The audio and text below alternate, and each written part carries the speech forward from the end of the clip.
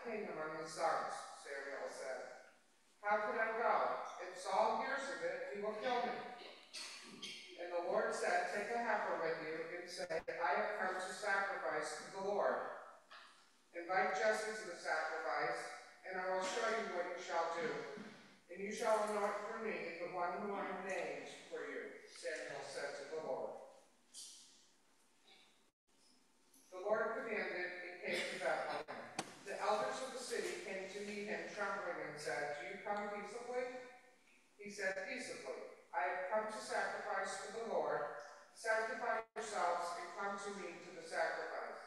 And he sanctified Jesse and his sons and invited them to the sacrifice.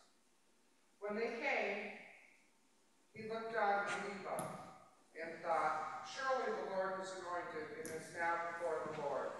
But the Lord said to Samuel, Do not look on his appearance or on the height of his stature, because I rejected him. But the Lord does not see as mortals see. They look on appearance, but the Lord looks on the heart. Then Jesse called Abinadab and made him pass before Samuel. He said, Neither has the Lord chosen this one. Then Jesse made Shammah pass by. And he said, Neither has the Lord chosen this one. Jesse made seven of his sons pass before Samuel, and Samuel said to Jesse, The Lord has not chosen any of these. Samuel said to Jesse, Are And he said, There remains yet the youngest son, but he is keeping sheep. And Samuel said to Jesse, Send and bring him, for we will not sit down until he comes here. He sent and brought him in. Now he was ruddy and had beautiful eyes and was handsome. The Lord said, Rise and anoint him, for this is the one. Then Samuel took the horn of oil and anointed him in the presence of his brothers. And then the Spirit of the Lord came mightily upon David from that day forward. Samuel then said and went to Ramah. All right, Crystal, that was good. Those were tough names. All right, I, I'll just really quick, um, because I, I brought this for showing to the children. And, uh, it's, it's a little coin that, you know, you put in your pocket, it just kind of reminds you of biblical themes and, and you can carry this around. Yeah, I don't do that, but I, I, it's a, this one really is kind of cool. It, it's got an outline, I don't know if you can see it at home or if you can even see it from where you're seated. Um, but it's got like a, a, a bush, a mustard bush. I've never seen a mustard bush, but I looked online, and it does get to be a pretty large bush. And right in the center is this tiny, tiny, tiny little seed. And that is actually a mustard seed. And so today's gospel is talking about, you know, that mustard seed of faith, and it grows into this big bush, and even the birds of the air can find their, their uh, nesting there. And so I think this is one of those those uh, parables of Jesus that is just so profound, and that the way it was captured, that little mustard seed here for a child, it just makes Jesus' stories real, but they're understandable. But there's also so much more to it. The story can keep telling stories, and so for a child, you know, you, with Sunday school and church, you, you nurture that little seed of faith, and you hope that it can someday flourish and become, you know, big enough that birds of the air can nest there. And uh, that, that takes time. And so for a Sunday school student, that's that message that you got to put time into this uh, to go from the seed uh, to the full-grown tree. And uh, on Father's Day, there's also that important message of, you know, that hope and promise. That, you know, that little seed can become something that, you know, is uh, special to you. And so I just wanted to share this little thing because, you know, in Jesus' day, Jesus is, you know, wise, but he's not yet divine, all-knowing, because that he gave, he gives up all of that. He empties himself. That he says in in uh, the Philippians letter. Um, but Jesus is looking for the smallest thing that he can imagine. So he doesn't know about molecules and atoms and quarks. But he does know about that little tiny seed, and he takes the smallest thing he can imagine, and he uses that as an example. That smallest little tidbit of faith that you may have can become something great if it's nourished. Um, so that, that's a message for children and for all of us, to, to nurture our faith. And I think we have a, um, a special gift today. And I won't say any more because I'm confused about the secret, so I, I'm just gonna. Okay, but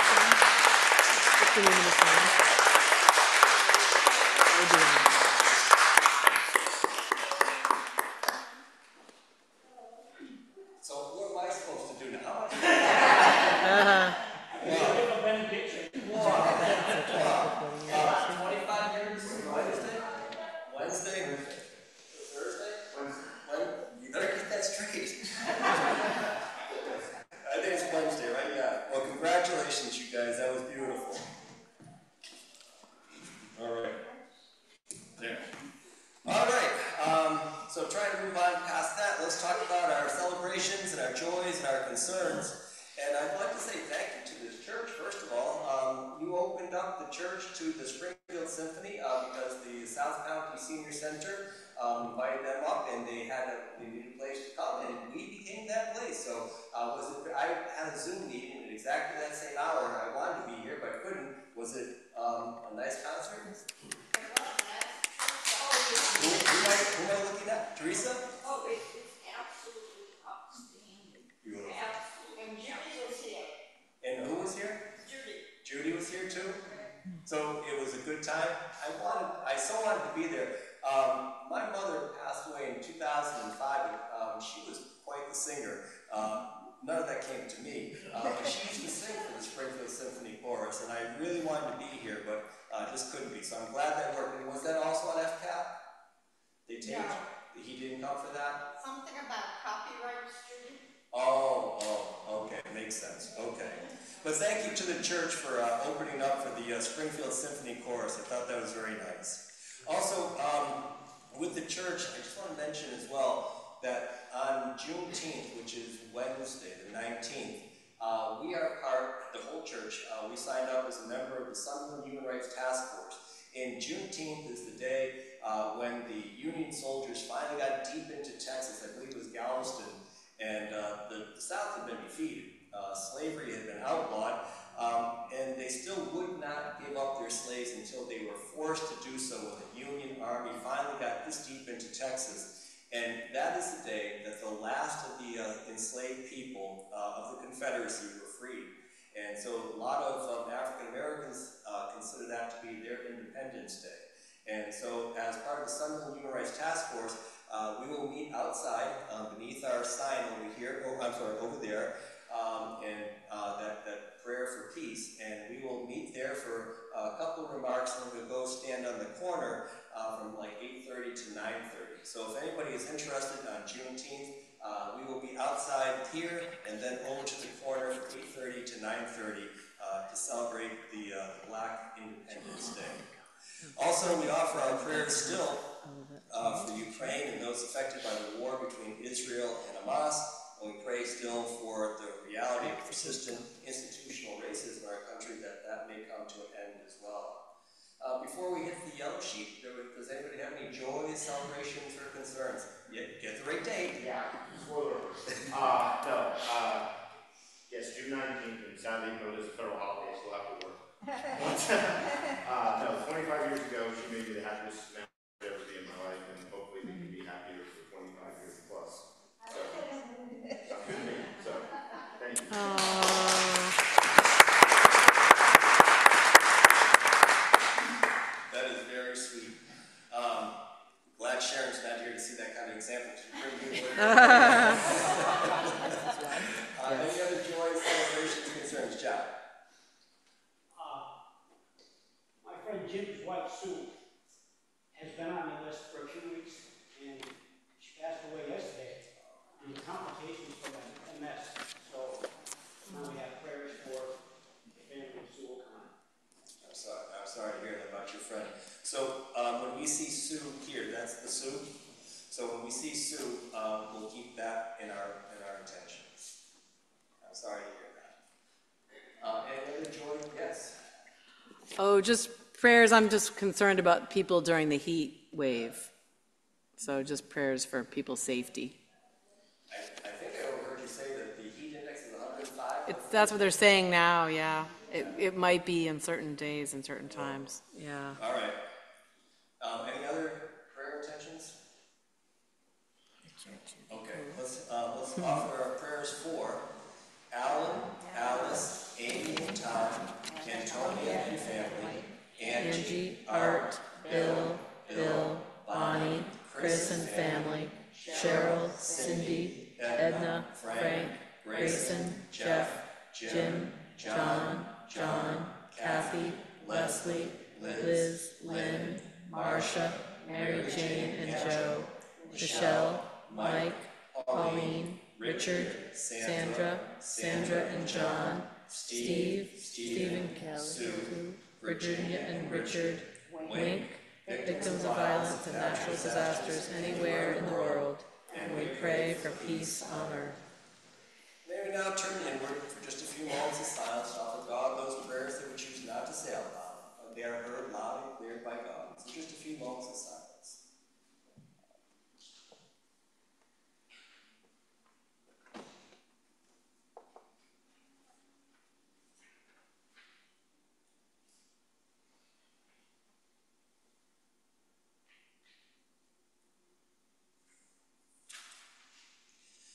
Righteous God, whose works are greater than our wildest imagination and most sophisticated study, plant the seed of your word among us today, and let each of us welcome the good news that you would plant within and among us, inspiring us deeper thinking, braver inventiveness, and more open receptiveness. May our lives be the fertile ground in which your love bursts into life to nourish us and all whom we may meet. As our loving Heavenly Parent, bless all the fathers of our community and give them the wisdom needed to fulfill their call to parenthood. And bless with eternal rest those fathers who have already been called to their heavenly rewards. Lastly, hear all the prayers that we have directed to you today and answer them only as you are able. In Jesus' name we pray. Amen. And may we now share the prayer that Jesus gave to all of us, the Lord's Prayer. Our Father, who art in heaven, hallowed be thy name. Thy kingdom come, thy will be done, on earth as it is in heaven. Give us this day our daily bread, and forgive us our debts, as we forgive our debtors. And lead us not into temptation, but deliver us from evil. For thine is the kingdom, and power, and glory forever. Amen.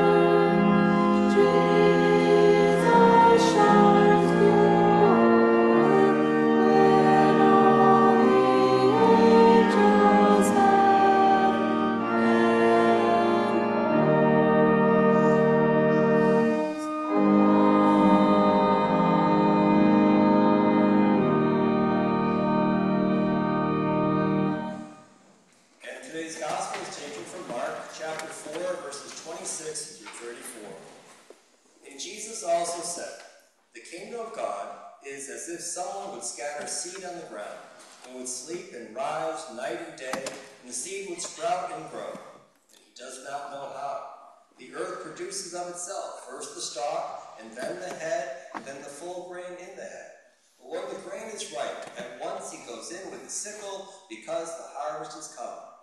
And Jesus also said, With what can we compare the kingdom of God, or what parable will we use for it? It is like a mustard seed, which when sown upon the ground is the smallest of all the seeds on earth. Yet when it is sown, it grows up and becomes the greatest of all shrubs, and puts forth large branches, so that the birds of the air can make nests in its shade. With many such parables, Jesus spoke the word to them, as they were able to hear it. He did not speak to them except in parables, but he explained everything in private to his disciples. May the words of my mouth and the meditation of our hearts together be accepted to you, O God, our rock and our redeemer. So, since today is, is Father's Day, um, I thought I'd share just a couple of Father's Day stories because um, I get a kick out of it myself. And so, it's Father's Day, and I get a little bit of a prerogative to do stuff like that the based on this here book. Um, I love mythology, and um, I thought maybe since I had my, my daughters from the very beginning, and before they could be tempted away by all other kinds of things, I would be able to influence them. And so my first daughter is born in March of 1993. I got that right. So she was born in March of 1993. And before we had kids, Sharon and I in December, we loved going out to Boston in December because of all the lights and the, you know, the, the just like joyful, you know, stuff going on. Well, that came came kind of an end when the kids were born. But the last time we were out there, and I have the little mark in here, 12, 18, 92. So this is the December before my first kid's even born. And we're in Harvard Square, we're in the Harvard bookstore, and I pick up the children's Homer. And I picked up the children's Homer because I had these grand ideas that I would be holding, cradling my little baby, and I would read to them stories of Greek mythology, and they would grow up to be these profound thinkers about Greek mythology and everything else. Well, it just never happens. so they uh, instead, my, uh, my daughter was born a couple weeks premature. Something called a sphincter muscle wasn't fully developed. The acidic stuff in her stomach kept up here in her esophagus. She wouldn't sleep for anything. And so the idea, beautiful idea of just relaxing and reading my daughter Homer instead turned into, I still remember, one arm against the wall. You know those little carriers for babies? Just rocking back and forth. And instead of Homer, I watched endless reruns of Cheers, um, trying to get her to go to bed. So the story is, is that you know what you know what you plant with your child, and no matter how much you know you try to influence them, they become who they're supposed to be on their own. Um, and, and I think there's a, there's a special gift with that, letting them become who they're supposed to be on their own. You can try as hard as you want, you know, doing all this thing. I, remember that you were supposed to be able to, uh, like, if you played with their fingers, uh, the synapses and the nerves and all that between here and their brain would be more developed if you gave them more attention. So I would play with their fingers, hoping that, you know, they would be like, you know, an Anthony at the piano and all that. Um, instead, my wife, who was an all-state athlete, just her genes beat up my genes. and, and so they, they, they much more prefer sports than, than uh, Homer or the piano, um, but I gave it a shot. And, and so that message on this Father's Day and, and this idea of parenting in general, and also applied to God, is that the seed is planted, um, but we're allowed to become who we're supposed to be. And you know, with that, that mustard seed that I showed, and I um, have it somewhere here, I, I, hope I don't lose it before I go home, but it is tiny, tiny, tiny. And the thing is, though, if you put that mustard seed in the ground, it's going to come up as a mustard shrub. And, and, and that kind of already sets the way for the, what you expect. But I, I, I like to think about the way that God plants the seed of faith in us and, and even the, the, the gift of life. I, I have these wildflower seeds and I plant them around the edge of my, uh, my lawn where that, it turns into woods. And I wanted like just the flowers, these wildflowers to come up. And when you scatter the, the wildflowers, you have no idea what you're scattering. Uh, you know, when it comes up, you don't know if it's going to be daisy or I don't even know what they're called, but you don't know what's going to come up. And I, I like that idea a little bit more than just the mustard seed, because then you know it's going to be that mustard bush. I love that analogy where you can spread the seed and what comes up, we don't know until it comes up. And, and I think God would, would allow for something like that, allow us to become who we are. And I also want to talk, um, because it's, it's uh, mythology there and it's Father's Day, I, I, want to talk just a little bit, because Jesus talks about parables. I want to go back to the Greek mythology, because they're all stories. Just like Jesus was a storyteller. The Greeks had these beautiful stories. And the creation story is, one that's really kind of amazing, uh, because it's so close to the Genesis story. It starts with chaos. Every story begins with chaos because no one knows where the first beginning is. And so you've got this chaos, just roiling chaos. And somehow out of chaos comes Gaia, Earth. And Earth then also creates Uranus. And so you've got the sky and the Earth, and they came together like this. And that's the way the Greeks thought that the, the world began Gaia and Uranus, the sky and the Earth.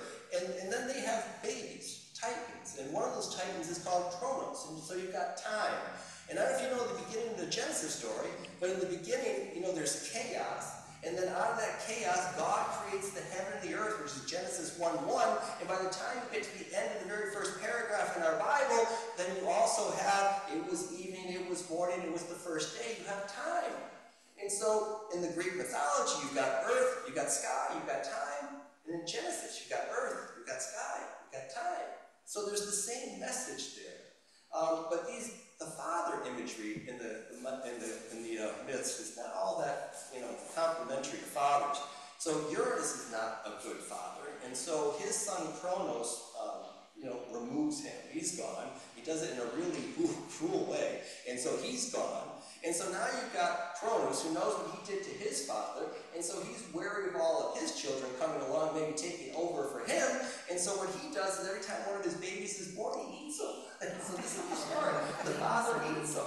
And so since they're divine beings, they grow inside of him um, because you know he's the sky. And so they're, they're all growing inside of him. But mama's getting a little bit ticked off at daddy and all the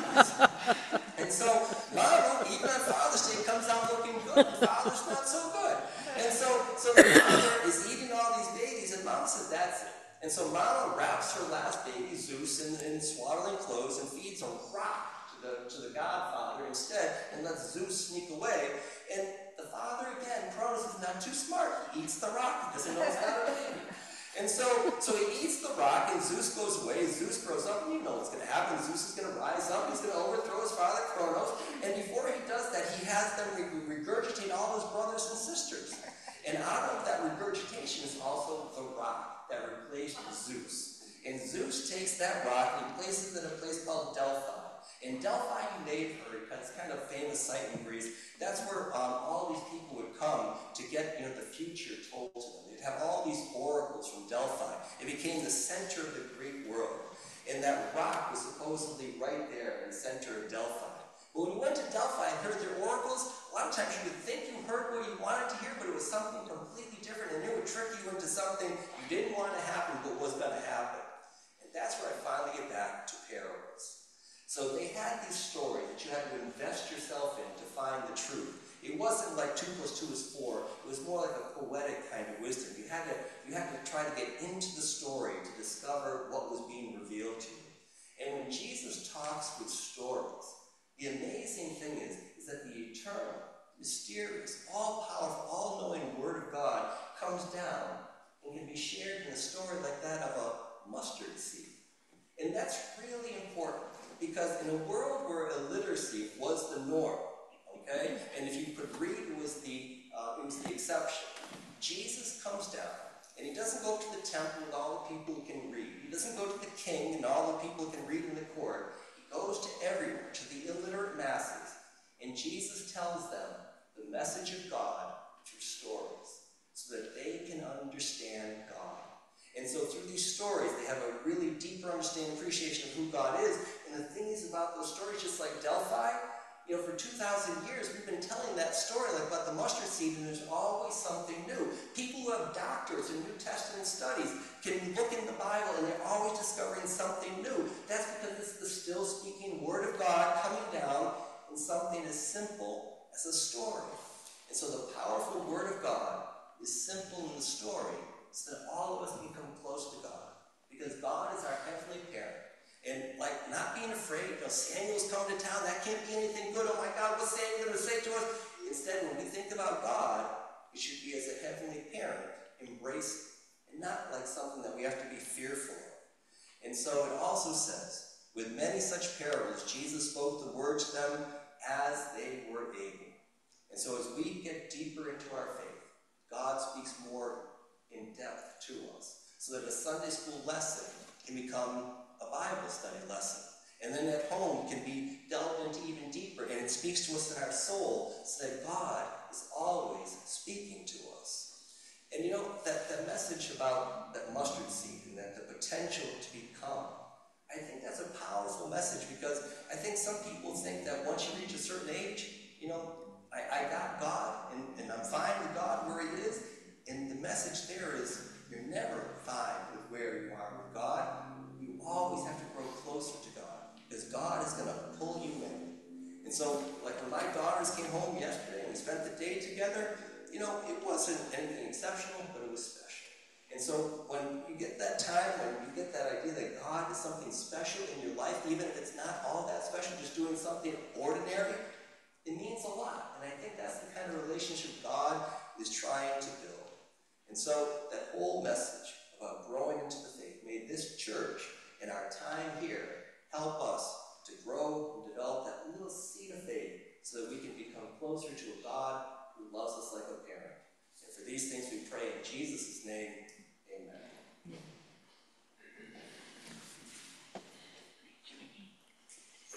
And our hymn of closing today is Red Hymn number 93, Guide Me, O Thou Great Jehovah.